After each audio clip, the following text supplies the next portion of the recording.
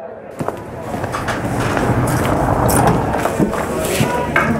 right. I guess you've heard the news by now. Hard to believe, though, isn't it? Hmm. No more beer as we know it. Yeah, but don't worry. I can tell you there will be a few beer trends to watch out for in 2027. For example, dry beer. So you can snack on your preferred hops in the pub. Or then, of course, dirt beer. Dare to take a sip?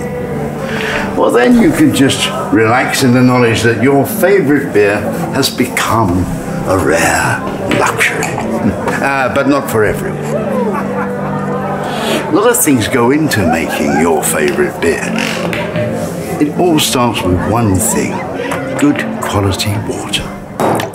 And that water comes from freshwater ecosystems the groundwater, springs, streams, rivers, and lakes.